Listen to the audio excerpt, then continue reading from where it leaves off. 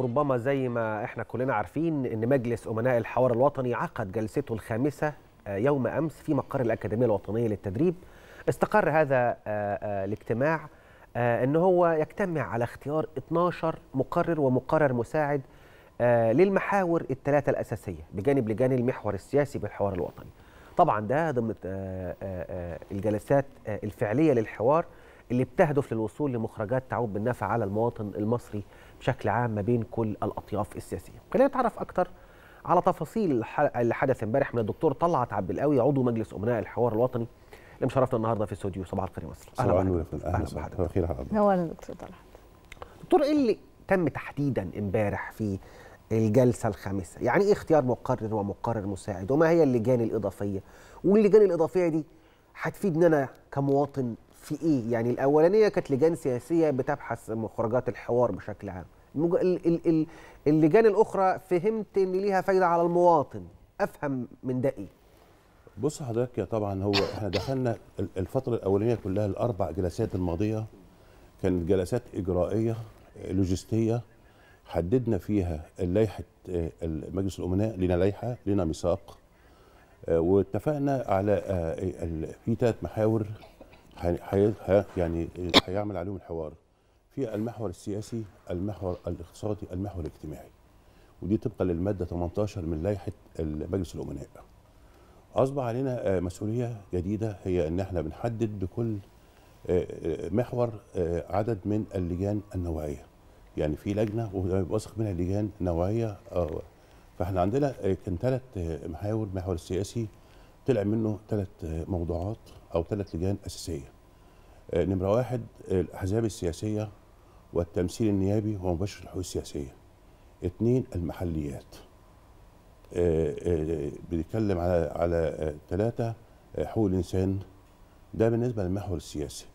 المحور الاجتماعي في بينبثق منه موضوعات. التعليم الصحة القضية السكانية الأسرة وتماسك المجتمع الهوية والثقافة المصرية. أيوة. المحور الاقتصادي والمحور الأخير بينبثق منه عدة موضوعات. بنتكلم فيه التضخم والغلاء الزراعة الصناعة الاستثمار الداخلي والمحلي عظيم. الديون الخارجية آه، ملكية الدولة جميل. دي كلها موضوعات. طيب أصبح إحنا دخلنا خلصنا إحنا المرحلة ديت في الجلسات السابقة. وصلنا لكل محور أو كل موضوع من الموضوعات اللي أنا قلت عليهم 15 موضوع. وفي ثلاث محاور رئيسية أصبح لنزاما لزاما علينا إن إحنا بنحدد كل محور بيبقى ليه مقرر ومقرر مساعد. فهمنا كده. وكل موضوع من الموضوعات ال 15 اللي قلتها. هيكون ليه مقرر ومقرر مساعد. امبارح كنا بنعكف على إن إحنا نتع... يعني نبدأ نسمي المقررين سواء للمحاور الثلاثه أو للمقررين والمساعدين للموضوعات ال 15 تمام. امبارح يعني طبعا استغرقنا حوالي ست ساعات أو أكثر. انتهى الأمر إلى إن إحنا حددنا المقررين للمحاور الثلاثه يعني مقرر ومقرر مساعد يعني ستة. آه. وامبارح انتهينا أيضا من المحور السياسي السياسي اللي هو ثلاث موضوعات. عملنا محور ومحور آه، مقرر ومقرر مساعد يبقى كده ال- ال- المجموعة امبارح 12 طب دكتور طلعت لنا؟ اسمح لي أقطع حضرتك. اتفضل. آه، اللجنة أطيافها السياسيه مختلفة. تمام. الاختيار امبارح للمقررين والمقررين المساعدين كان بالإجماع. كيف أجمع الجميع برغم اختلافاتهم السياسية؟ أو آه، أطيافهم مش اختلافاتهم خلينا نقول أطيافهم السياسية المختلفة. إحنا اخذنا مبدأ حضرتك من أول ما بدأنا إن إحنا بنعمل التوافق. نعم. دي مساله إحنا التوافق ده إحنا مسألة اتفقنا عليها. فإحنا دايما إمبارح كنا بنعمل إزاي؟ في سابقه هو كان طبقا للمادة 18 اللي هي بتنص على إن المنسق العام اللي هو السيد الدكتور ضياء رشوان هو اللي كان. منوط بيه إن يعني يحدد أسماء المقررين والمقررين المساعدين ويعرضها على المجلس للموافقة عليها. ولكن اللي هو الدكتور ضياء والأمانة الفنية رأوا إن إحنا يتعرض علينا مجموعة أسماء عدد ليس بالقليل من الأسماء ملف ضخم جدا في أسماء كلها المطروحة نعم. سواء اللي جاية من الكيانات الجمع المؤسسات ال- النقابات وأعتقد إن ده السيناريو الأفضل. طبعا سيناريو يعني ديمقراطي. ففعلا اتعرض علينا أسماء وكنا كل- قدام كل اسم بنقعد مساحة من الوقت. وطبعا بنراعي التوازنات. وبنراعي أيضا الجهات اللي هي رشحت. يعني أنا ما أقدرش حزب معين هو مثلا دفع بمجموعة من العناصر عشان تبقى مقررين أو مقررين ما أقدرش اخد كل اللي جايين من حزب واحد. نعم. أو من تيار واحد بالظبط. أو من اتجاه واحد عشان عشان الشفافية طبعا طبعا. وعشان التوازن. برضه راعينا حاجة جيدة جدا امبارح الجندر. راعينا النوع الاجتماعي. مم. هتلاقي لو يبقى انتوا- في ميل وفي ميل. طبعا في سيدات وفي رجال. بالظبط. راعينا برضه الشباب. يعني في آه، البرلمان الأحزاب السياسية. لا تم مراعاة بشكل جيد. هي مهمة مش سهلة. طبعا. وطبعا أصعب حاجة إن الإنسان يختار. وأعتقد إنها بقت يمكن آه طبعا زي ما حضرتك بتقول هي مش مهمة ما بقتش سهلة أو ما كانتش سهلة ولكن بقت أسهل. من دي قبل لتواجد الشباب ولكفاءتهم واللي طبعا يعني إحنا تخطينا مرحلة تمكين المرأة. إحنا ما شاء الله الستات دلوقتي لا، يعني لله، في يعني- أماكن جيدة جدا. فأعتقد إن ده ساعد إن بعد ما إحنا شفنا بنفسنا الكفاءات المختلفة والإنجازات المختلفة اللي بتقوم بها السيدات أو ال- الشباب وتأهيلهم بما فيه الكفايه أعتقد ده بقى بيسهل بيسهل المهمة جدا جدا, جدا وخاصة إن إحنا عندنا كفاءات. يعني إحنا بيبقى دايما العنصر قدامنا هو الكفاءة الأصل. أيوه. يعني إحنا بنحط الكفاءات في الأول ثم ننطلق إلى موضوع ال- النوع الاجتماعي أو موضوع السن أو ما شابه ذلك. ولكن عندنا الأصل وقلنا نحصل حتى كنا حريصين. لو كان المقرر مثلا شخصية سياسية كبيرة مرموقة نعم. آه، في السن كبير ادفع أدفع معاه حد من الشباب صح. عشان. يبقى في نوع من أنواع التواصل و- والخبرات وتبادل الخبرات والتماسك يعني. طب طب. خلينا ناخد القضايا المجتمعية. ربما ده اللي يهمني. طبعا. يعني إحنا عارفين القضايا الاقتصادية عارفين القضايا السياسية. ربما هي الاكثر تداولا على الساحة. يعني الحوار الوطني هيناقش إيه في القضايا المجتمعية؟ ده برضه سؤال غريب.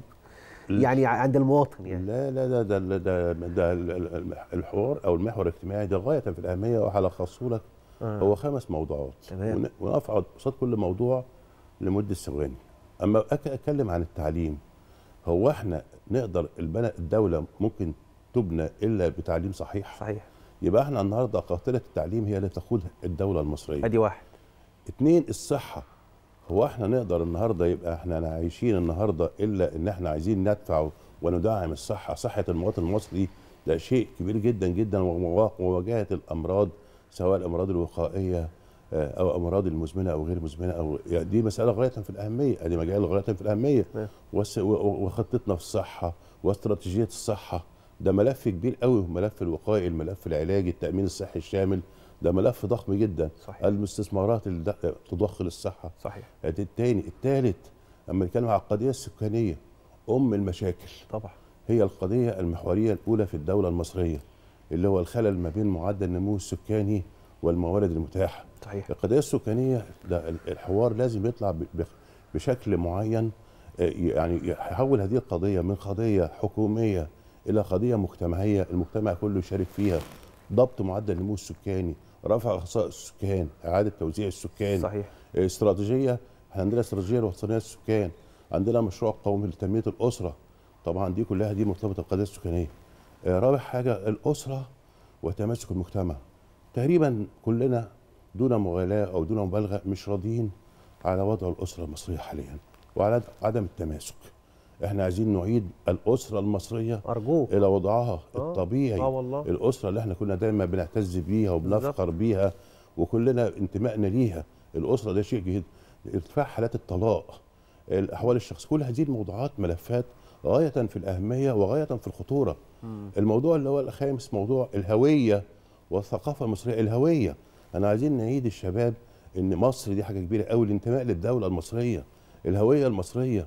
نعتز كلنا بيه ان أنا نقول أنا مصري ديت تخليك تقول تبقى رافع راسك كده وتقول أنا مصري.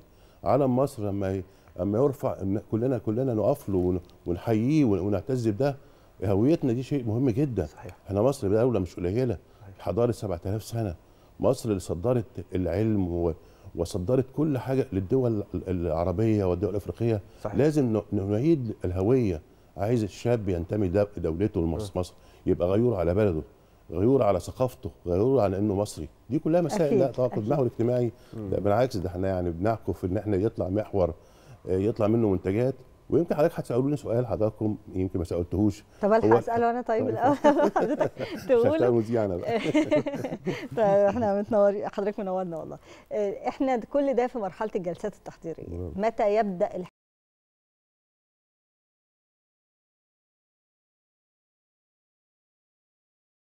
شاء الله ننتهي من آه، المقررين والمقررين المساعدين. ثم نحدد آه، بشكل دقيق برضه الشخصيات التي ست- ستدعى إلى الحوار.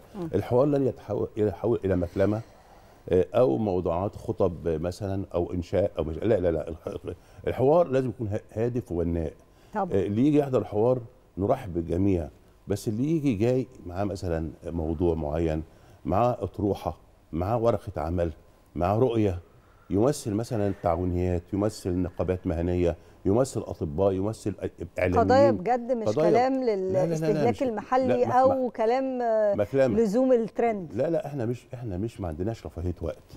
لأن في الآخر حضرتك هتقولي طب وبعد كده هيحصل إيه؟ بعد كده هيحصل إن كل مجموعة عمل وكل ورشة مكلفة. ستخرج كده. ستخرج بتصور إما اولا التصور ده هيرفع لفخامة رئيس الجمهورية. وهو طلب حوار وطني وقال أنا هتابع شخصيا هذا الحوار. الحوار ده ينتج عنه إن نطلع منتج والمنتج ده هيحصل فيه قلنا إيه ما تناقشنا في مجلس الأمناء. طب إحنا اختلفنا في قضية من القضايا. ممكن إحنا الثلاثه وإحنا قاعدين دلوقتي نختلف في قضيه صحيح. حضرتك قلت رأي وحضرتك قلت رأي وأنا قلت رأي والثلاث آراء آراء وجيهة ترفع للرئيس بشكلها. نتوقع تكون حاجة بقيمة وقدر اللجنة اللي موجودة والمشاركين آه. في الحوار الوطني الدكتور طلعت عبد القوي عضو مجلس أمناء الحوار الوطني سعدنا وشرفنا بوجود حضرتك. معانا أهلا وسهلا يا فندم. وكان. نفسنا نقعد مع حضرتك أكتر من كده لكن للأسف دهمنا الوقت إحنا بنشكرك مرة ده ثانية أنا بشكركم